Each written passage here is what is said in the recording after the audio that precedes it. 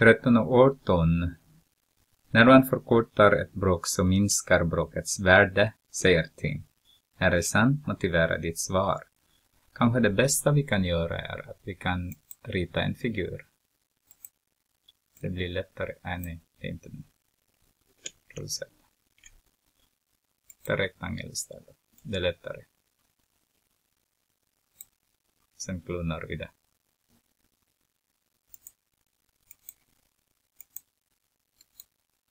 Luna. Så vi får exakt samma där.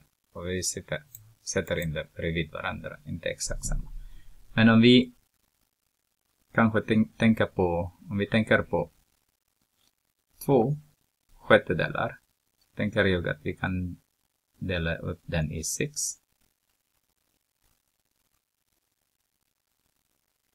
Så. Men jag kan även dela upp den här under i tre. Som du ser här nu, om två sjättedelar, den här, är det också motsvarar den här.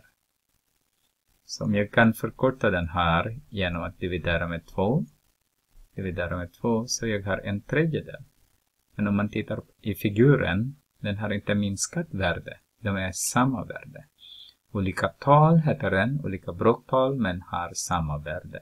Så två sjättedelar är lika stor som en tredjedel.